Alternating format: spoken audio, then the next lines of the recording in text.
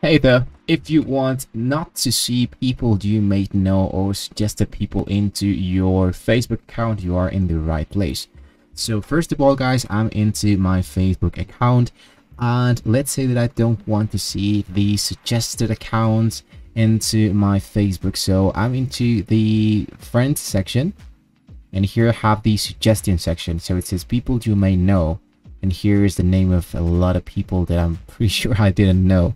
So whether you can choose to remove each one of those, it would be just really, really, really hard and lazy. And I just don't want to keep do this forever.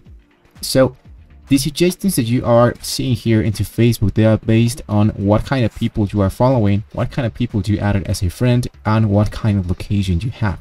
So if you don't want to see a lot of suggestions because they're going to still doing that, what you can do is two things.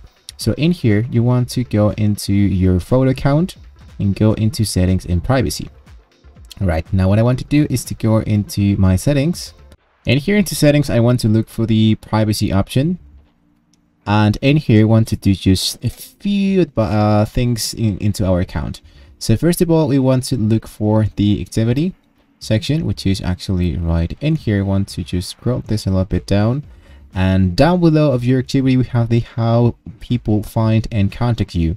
So we have the who can send you friend request. So if you want to delete this option which says public, in my case, I have friend of friends.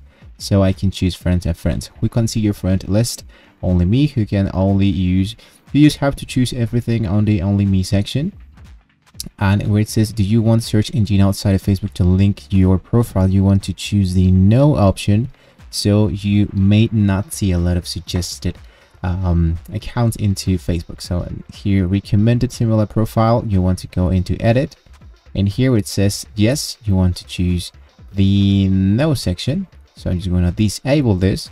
Now it says we may suggest a profile to people when they visit other profiles similar to yours. I want to disable this and go into close.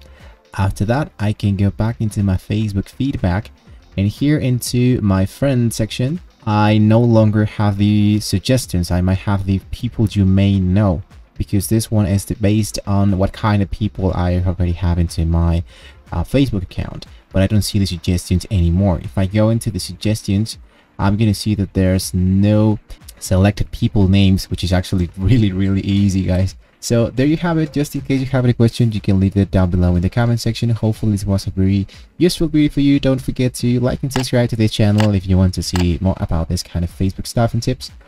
Thank you once again, guys, and I'll see you next time.